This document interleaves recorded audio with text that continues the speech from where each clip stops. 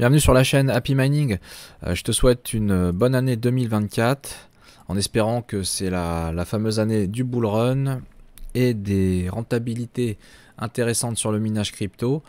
Euh, avant de commencer euh, la vidéo, voilà, je présente un petit produit qu'on a sorti récemment. C'est un kit d'insonorisation pour ASIC qui permet en gros de réduire grandement le bruit euh, d'Asie comme les S19, S21 ou même les KS3. Donc d'origine, on a plus de 80 décibels sur, euh, à 100% des ventilateurs sur, ces, sur les ASIC en général. Et donc, euh, si on veut réduire le bruit, donc on a fait une vidéo précédente sur, un sur le tutoriel pour insonoriser son, son ASIC. Une des solutions, c'est d'enlever les ventilateurs d'origine, de fixer à la place, donc là on voit peut-être un peu mieux comme ça, de fixer à la place des ventilateurs, alors c'est plutôt là, on fixe à la place des ventilateurs une sorte de euh, conduit euh, qui est imprimé en 3D. Et dessus, on, voilà, on voit mieux comme ça. Et dessus, euh, vous avez un extracteur d'air qui est branché. Et ça souffle. Et puis de l'autre côté, on peut faire pareil, de remettre un conduit en 3D et une gaine pour orienter l'air chaud où on veut. Voilà, donc on a développé un petit kit euh, qui contient les deux pièces 3D de, chaque côté. Euh, vous avez aussi besoin de simulateurs de ventilateurs, c'est-à-dire que quand on débranche les ventilateurs de son, sur un ASIC, euh, il se met en sécurité, donc il, faut, il y a des petites pièces qui ressemblent à ça, qui se branchent à la place des ventilateurs, donc avec un 4 pins. Et donc un simulateur permet de brancher deux ventilateurs, et comme il y en a 4, on en a deux en tout. Voilà, donc c'est un petit kit. Euh, euh, pour les gens qui voudraient essayer d'insonoriser leur euh, rig. Il y, a le, il y le tutoriel vidéo aussi qui est disponible sur la chaîne. Voilà, bon ça c'était pour le petit aparté sur l'insonorisation. On va regarder donc aujourd'hui bah, les rentabilités du minage GPU et ASIC début 2024.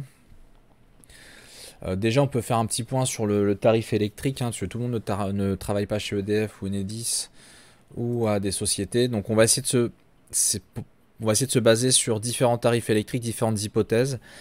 Euh, je vous conseille d'oublier euh, donc là le nouveau tarif EDF euh, e bleu de base et on est à 22 centimes, presque 23 centimes d'euros TTC le kilowattheure. Donc honnêtement, si vous êtes sur un tarif comme ça, je vous conseille de changer. Euh, ou si vous pouvez pas vous voulez pas changer, bah, de ne pas faire de minage euh, tout simplement en France en tout cas, euh, c'est compliqué. on propose d'ailleurs via notre partenaire, si du coup c'est compliqué pour vous, de l'hébergement en Islande. Donc n'hésitez pas à prendre rendez-vous sur le calendrier ici. On répondra à toutes vos questions. Investissement minimal de 11-12 000 euros. Donc c'est du minage Bitcoin par défaut en Islande à 0,78 centimes d'euros le kilowattheure. Bon, ça c'est encore un petit aparté. Du coup, si en France vous êtes à voilà sur des tarifs comme ça, une vingtaine de centimes, c'est très compliqué. Euh, nous, on va partir sur une hypothèse la plus haute, qui est sur le tarif de EDF Tempo. Donc, euh, pour ceux qui connaissent pas EDF Tempo, c'est un des tarifs les plus avantageux en France. Euh, basé sur trois codes couleurs. Basé sur trois codes couleurs. Donc vous avez des jours bleus, des jours blancs, des jours rouges, et sur le système d'heure pleine, heure creuse. Je vous laisserai aller voir dans le détail.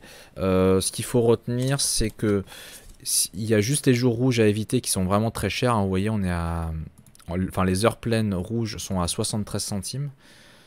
Euh, donc ça, faut vraiment l'éviter. Il y en a 20, combien il y en a? Il y en a 22 par jour, 22 euh, par an. vous avez 22 jours rouges par an à couper vos rigs. Et tout le reste, euh, ça fait que c'est très intéressant. Donc vous voyez, les jours bleus, il y en a 300 par an. Et on est entre 10 centimes et 13 centimes. Donc c'est vraiment intéressant. Euh, donc j'avais noté, j'avais fait une, moyenne, euh, bon, si on, si on, exclut les 22 jours rouges, heure pleine, j'avais fait une moyenne et on était à on était à, on était à 12 centimes 8. On était un petit peu moins. Bon, je vais arrondir. On était à peu près à 13 centimes d'euros le kilowattheure. Voilà, donc je vais me baser sur cette hypothèse-là. Ça fait à peu près 14 centimes de dollars parce que les simulateurs sont souvent à 14 centimes. Donc voilà, donc en France en particulier, il peut au mieux avoir ça. après, si voilà, si vous avez une société, vous pouvez mettre en frais l'électricité.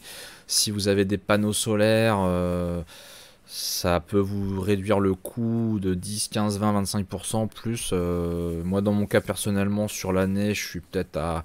Après, ça dépend de la consommation totale évidemment, mais là, avec euh, les que j'ai, entre une consommation entre 3, 4, 3, 4 5 000 watts, euh, mes panneaux, ils vont peut-être m'amortir entre 15 et 20% de, du, coût électrique. Voilà. Voilà, voilà, donc ça c'est le DF Tempo. Donc on va commencer par les rentabilités euh, plutôt orientées carte graphique. Alors je vais, prendre, je vais faire deux, prendre exemples, euh, des cartes de, nouvelle, génération, des RTX 4070, et des cartes d'ancienne génération, la 3070. Donc par exemple, hein, je, pars d'un coût électrique à 14 centimes, hein, quelques personnes lambda qui est sur le Dev Tempo. On trouve la 4070 à 700 dollars et donc, euh, on va, euh, par exemple, si vous minez de l'aléfium, hein, donc en ce moment, il y a l'aléfium qui, qui, est plutôt intéressant à miner, il y a le pyrine aussi. Euh, vous pouvez miner le pyrine ou l'aléfium d'ailleurs sur la Gigipool, qui est notre nouveau partenaire. Hop, Gigipool, hein, voilà, vous voyez, avec Happy Mining. donc, vous avez l'aléfium dessus et le pyrine. Voilà, donc. N'hésitez pas à l'utiliser cette poule là. Euh, du coup, sur la lithium, par exemple, on est sur un ROI, euh, donc d'une carte neuve à 700 dollars à peu près en France. On est à 1300 jours, avec un tarif à 14 centimes. Donc ça reste encore compliqué. Après, euh, c'est la rentabilité à l'instant T. on a eu des, des, cryptos comme, bah, comme le Caspa ou le Dinex qu'on fait euh, des plus de 1000% sur un an, etc. Donc euh, au final, euh, le rendement est peut-être deux à trois fois supérieur de ce qu'on voit là maintenant. Donc voilà, c'est pour ça que c'est un peu, c'est pas évident, mais en tout cas, en tout cas, on est quand même dans le positif. Hein. C'est-à-dire que si vous avez déjà une carte graphique sur votre PC, vous voulez tester le minage, vous pouvez déjà, voilà, concrètement, Lithium avec une 4070 si vous enlevez votre électricité, si vous êtes sur le Dev Tempo, euh, il vous reste 50 centimes de dollars par carte par jour. Euh, et si vous payez pas du tout d'électricité, enfin le, maximum brut c'est 1 euh, dollar pour cette carte là. Voilà, donc si vous êtes sur, du coup voilà, si vous êtes sur, si vous payez pas l'électricité, vous avez 1 dollar par jour actuellement. Sur une carte à 700 dollars, il vous faudra 700 jours pour la rentabiliser à peu près. Euh, voilà, je vais prendre un autre exemple avec une 3070. Donc, c'est des cartes d'ancienne génération qui sont encore euh, très intéressantes, qui ont un très bon rapport euh, prix, puissance, consommation. on en trouve autour de 300, enfin 250 euros, 300 euros. Donc, on peut en trouver à 300 dollars. Donc, c'est de l'occasion. mais voilà, pour vous montrer, par exemple, sur, le, on est, on est à 1000 jours comparé à l'autre à 1250 jours. Donc le voilà, retour sur investissement est un peu plus rapide. Euh, et c'est pareil, si euh, vous ne payez pas l'électricité, vous allez être à 60 euh, centimes par jour. Si vous payez l'électricité tempo, vous êtes à 30 centimes. Et puis après, vous avez toute la plage de coûts électriques entre les deux.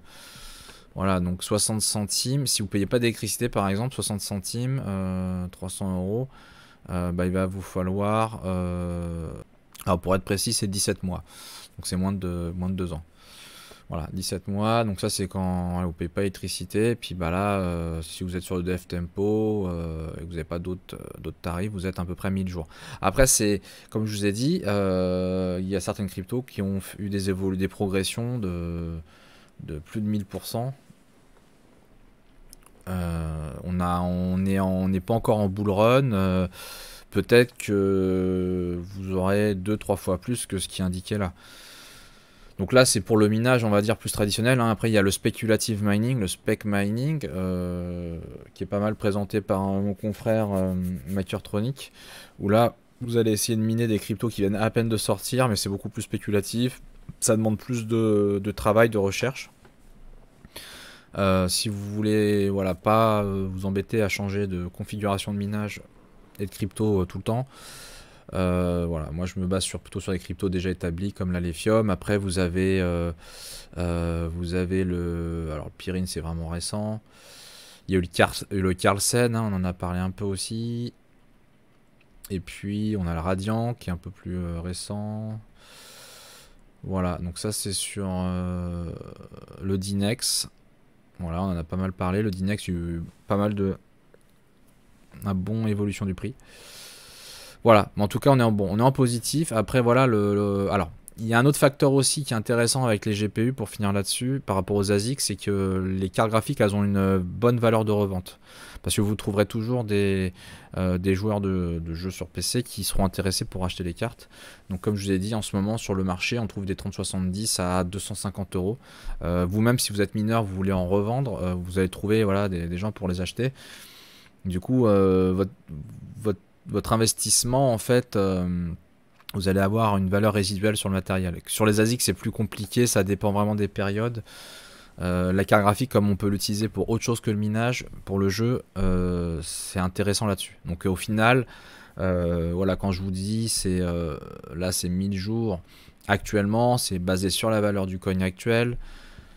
Euh, c'est si la carte graphique, euh, bah, vous considérez aucune, aucune revente, alors que ça se trouve la carte graphique, vous allez la revendre 50% euh, de ce que vous l'avez acheté, genre, je sais pas, 150 dollars. Du coup, le retour sur investissement, ça, sera deux fois plus rapide. Enfin, vous voyez, c'est c'est pas évident à vous dire en termes de rentabilité exactement ce que ça va donner, mais voilà il y a des choses intéressantes, il y a des champs, il y a des, en tout cas c'est beaucoup plus intéressant qu'il y a quelques mois. Le, minage GPU c'est revenu, euh, peut-être pas à l'époque de l'Ethereum, mais c'est quand même très intéressant. Euh, voilà, après, euh, voilà, on, a, on a déjà parlé sur les. Alors ensuite, pour faire vos, aussi vos propres calculs, du coup vous avez le site hashrate.no. Donc qui est vraiment intéressant. Il y a le GPU, mais il y a aussi le, minage CPU. Donc là dans la vidéo je vais pas en parler, mais il y a des choses intéressantes. Enfin, je vais en parler très brèvement. Il y a le minage du Zephyr qui est très intéressant en ce moment. Donc vous avez par exemple euh, euh, voilà, sur des Ryzen, euh, sur des Ryzen 9 des 1 dollar par jour et des retours sur investissement à, moins de, à moins de 2 ans. 500 jours, voilà, c'est pareil avec la valeur du coin actuel, avec un tarif électrique à 14 centimes de dollars par jour. Voilà, donc euh, après vous pouvez aller aussi sur d'autres sites comme euh, le très connu What to Mine, où là vous avez différents tableaux, vous avez un tableau où vous rentrez vous-même les, les, les, les, les, hash rates selon les différents algorithmes si vous connaissez, sinon vous avez un tableau euh, récapitulatif avec les différents GPU, vous pouvez mettre votre coût électrique, voilà, etc. Euh, en tout cas, euh, bon, comme je vous ai dit en conclusion sur le minage GPU, si vous êtes sur un tarif bleu, je vous déconseille, euh, enfin si vous, voulez, vous êtes sur ce tarif-là et vous voulez pas y bouger, je vous déconseille de faire du minage. Si vous êtes sur maximum 14 centimes, comme on l'a vu avec le Dev Tempo, on a des choses maintenant qui sont intéressantes. Vous avez du positif. Donc après, moi je conseille surtout d'aller sur des cartes d'occasion en faisant attention à ce que vous achetez quand même. Mais voilà. Et puis si ensuite euh, vous êtes dans une situation où vous payez moins cher, les, moins cher le moins cher, euh, vous pouvez partir potentiellement sur la nouvelle génération, les 4070, qui sont un très bon rapport prix-puissance. Les 4070 Ti sont un peu chers, je trouve encore. Euh, mais ça peut, voilà, ça peut ne pas être déconnant si vous êtes sur du 5 centimes, euh, si vous avez une société, voire moins hein, si vous êtes euh, agent EDF. Vous êtes sur des retours sur investissement à l'instant T qui ont l'air, bon, c'est quand même 800 jours, mais comme je vous ai dit, il y a la revente de la carte. Donc cette carte-là, vous allez pouvoir la revendre entre 30% et 50% de son prix d'origine. Hein. Prends des trucs. Euh, je vais pas vous vendre du 80% du prix d'origine, mais voilà, si vous minez deux ans avec, euh, je pense que vous pourrez la revendre presque la moitié de son prix quand même. Peut-être un peu moins, mais voilà, vous avez une valeur résiduelle. Donc en fait, euh, ça, c'est quand même à prendre en compte dans le calcul. Bon, voilà, je vous laisse après faire vos petits calculs. On va passer aux ASIC. donc, c'est pareil sur les ASIC, vous avez bon, vous avez le site What to Mine, euh, la section ASIC, euh, où là faut rentrer. Alors c'est pareil, là faut connaître les valeurs, etc. Sinon vous allez sur l'onglet Miner, et là vous pouvez voir pareil les rentabilités des ASIC à l'instant T. Euh, mais ça, vous n'avez pas par exemple le retour sur investissement. Donc il y a des sites comme Mine the ASIC où là vous avez le classement par défaut par euh, la, la, combien ça rapporte euh, brut par, par jour. Donc on retrouve les, mineurs de Caspa en ce moment encore. Mais vous avez le, pay, le payback time. Alors là c'est basé sur les prix euh, estimés par MindZeasic des machines. Donc là vous avez aussi le retour sur investissement en jour ou en mois. Et ça permet de voir euh, aussi sur certaines autres machines. Donc, par exemple, on a le, le, le Antminer S21 200 Tera. C'est la toute nouvelle génération de chez Bitmain pour miner du Bitcoin. C'est la machine la plus efficiente pour miner du Bitcoin actuellement. Elle vient tout juste de sortir. On est, euh, voilà, on est sur euh, une machine qui rapporte 10 dollars par jour. alors les prix, il faut vraiment se méfier sur les prix parce que là vous êtes sur des prix euh, hors taxes, hors frais de douane. Euh, euh, parfois s'il y a des minimums aussi à, à, commander. Et même par exemple là ce 3000 dollars sur un S21, ça c'est le prix de la machine si vous voulez la, si vous voulez la recevoir pas avant 3-4 mois s'il y a des prix dégressifs, euh, mais la machine à l'instant, euh, la machine euh, pour l'avoir maintenant en janvier, c'est pas ce prix-là, je vous le dis. Donc voilà, c'est pour ça qu'il faut quand même se méfier, mais bon, ça peut vous donner une tendance ou un, peu comparer. nous, on va, on va prendre quelques machines un petit peu pour comparer. Alors, des, machines qui se vendent beaucoup. Donc par exemple, si vous payez pas très cher l'électricité en France, vous êtes agent EDF, etc., ou vous avez une société, on va dire vous êtes à 2 centimes. Euh, ces machines-là sont vraiment intéressantes parce qu'elles rapportent 300 dollars par mois. En plus, c'est la valeur sûre à miner du Bitcoin hein, par rapport au Caspa ou Dogecoin, etc. Donc, par exemple, ça, c'est vraiment un best-seller, le 19K Pro. Donc, 120 Tera pour 2750 euh, watts. Ça rapporte en ce moment 300 dollars. Si vous payez très peu cher votre électricité, euh, il vous reste 250 dollars. Cette machine-là, nous, on l'a en TTC par exemple 2600 euros. Voilà. Donc, euh, on est sur un retour sur investissement d'à peu près un an sur cette machine-là. Donc, euh, vraiment pas mal. On va reprendre le S21, le fameux S21. Donc, si vous êtes euh, sur un tarif assez bas, 2 centimes par exemple, elle rapporte 500 dollars par mois.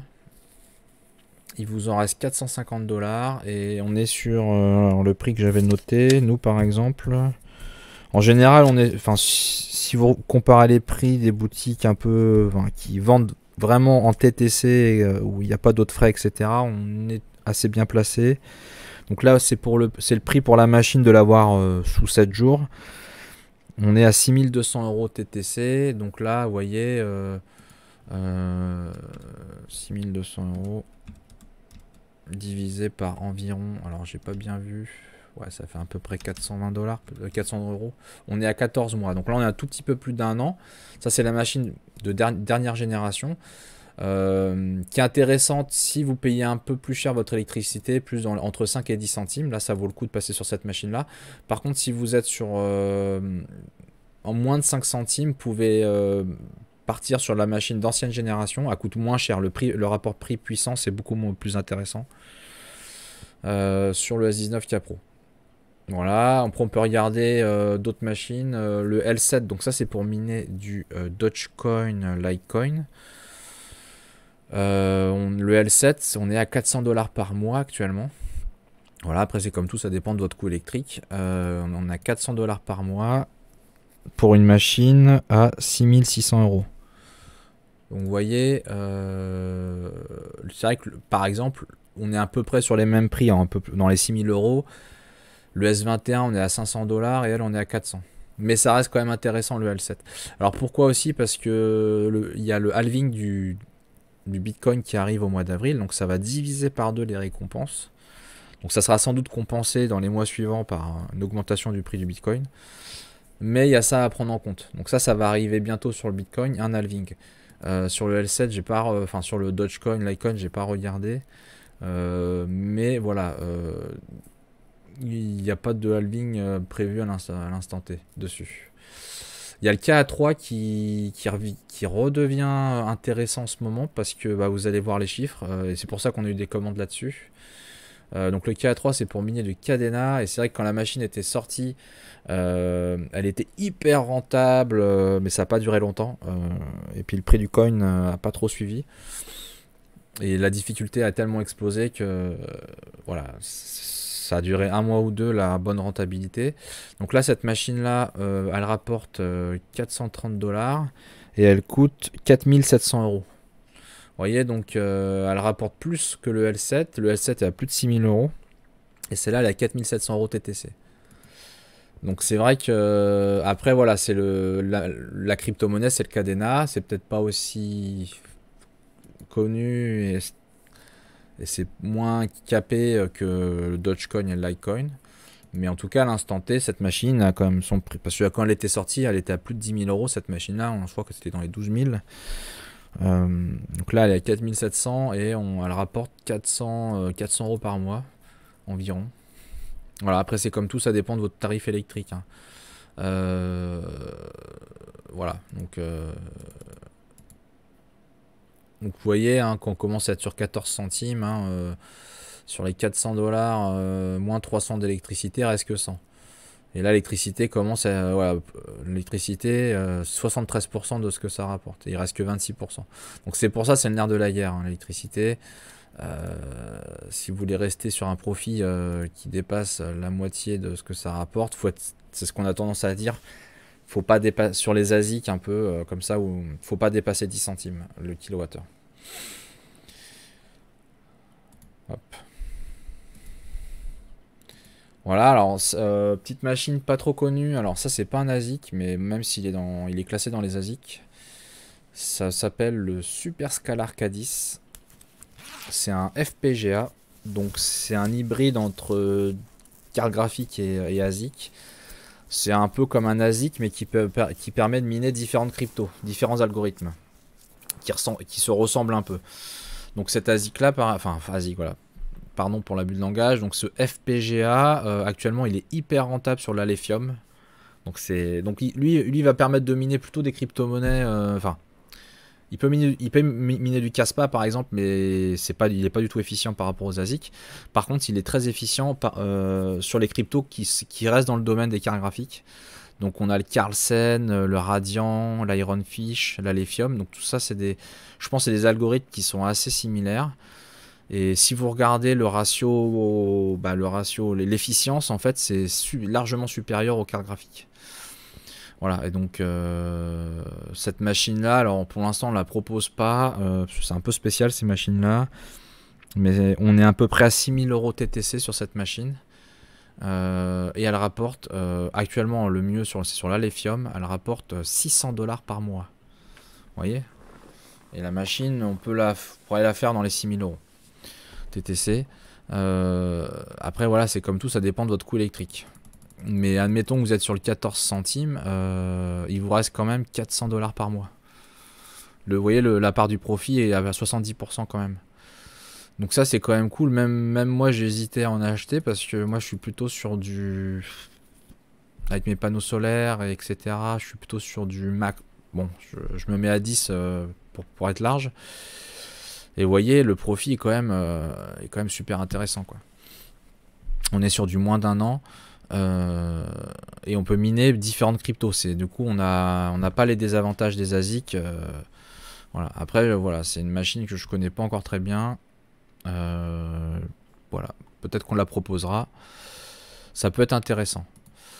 Voilà, donc on a fait un petit peu le tour. On va faire un dernier focus sur le Caspa. Hein c'est quand même euh, les Asies qui se qui sont bah, hyper hyper euh, commandés en ce moment où il y a beaucoup de demandes. Alors du coup, on va faire un petit point sur la rentabilité du Caspa début janvier 2024. Donc sur le fameux KS0 Pro, on est à 2 200 Go H 100, 100 watts.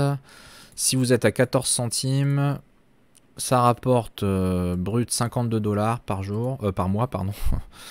52 dollars par mois seulement. Vous avez 10 centimes, 10 euros, pardon, 10 dollars par mois d'électricité, il vous en reste 42. Voilà. Donc voilà, donc on est, euh, cette machine-là, elle est encore en précommande pour euh, la recevoir euh, vers, vers la vingtaine de janvier.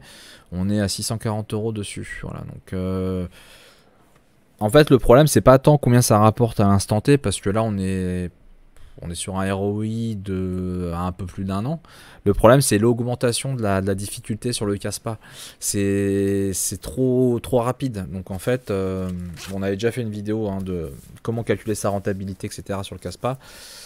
Ça augmente trop vite. Euh, du coup, c'est ça qui est compliqué pour, euh, pour faire ces petits calculs là-dessus. Euh, si on prend le KS3M qui était euh, donc c'est une machine à 6 Tera pour 3400 watts, c'est la machine qui a le meilleur rapport prix-puissance. Il y a encore quelques. Enfin, on avait fait quand la vidéo? On a fait ça il y a un mois. Il y a un mois et demi, on était sur un peu moins de 5000 dollars par mois. Là, on est à 1500 dollars. Donc, vous voyez un peu quand même la. Et ça, c'est à cause de la, difficulté de minage qui a explosé. Euh, ça a tendance encore à augmenter fortement. Euh, ça s'est pas encore stabilisé. Voilà, donc cette machine-là, le prix en plus a remonté dessus. On est encore à 10 000 euros dessus. 10 000 euros euh, pour, et elle rapporte 1500, un peu moins de 1500 par mois. Donc c'est pareil, 1500 par mois, ça a l'air d'être rentable en 7-8 mois.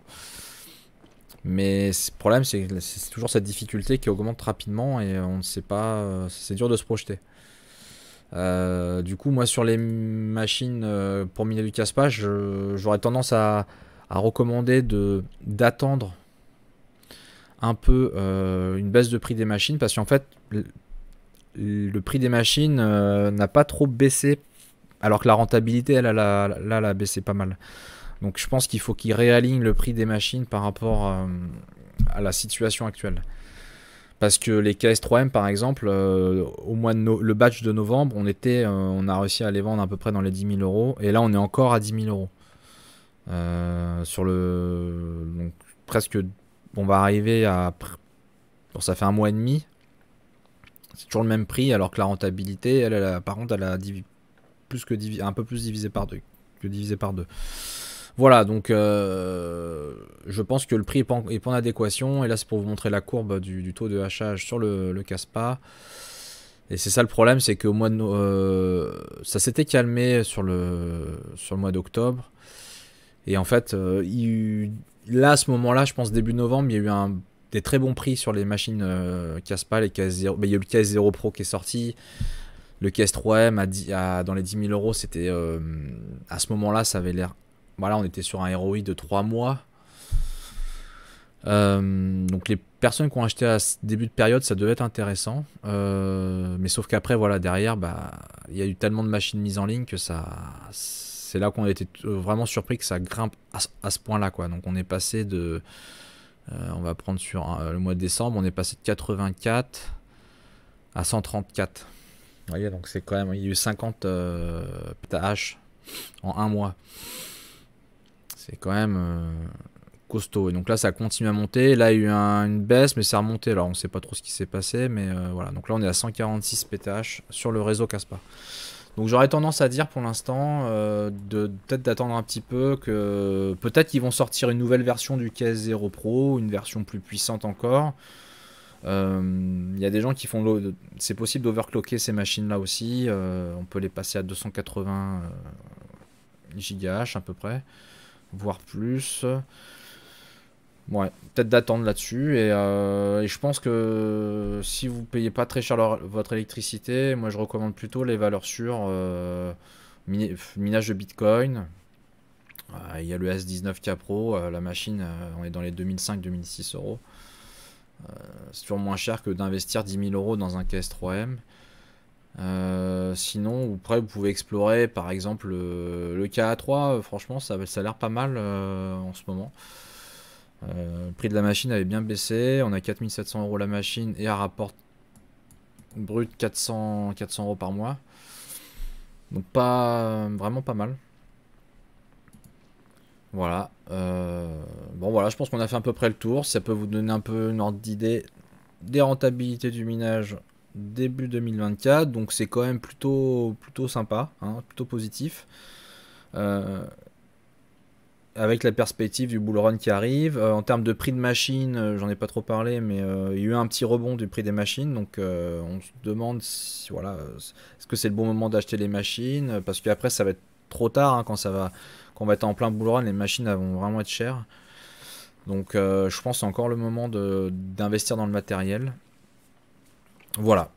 Après, il y a le halving qui arrive au mois d'avril bientôt. Euh, ça va aussi euh, rebattre un peu les cartes. Euh, le hash rate sur le bitcoin va évoluer à ce moment-là, je pense. On verra ça. Donc, pas mal de choses intéressantes pour 2024 et ça a l'air sympa. Ça a l'air sympa et à suivre. Allez, je vous dis à la prochaine sur Happy Mining et puis bon minage à tous.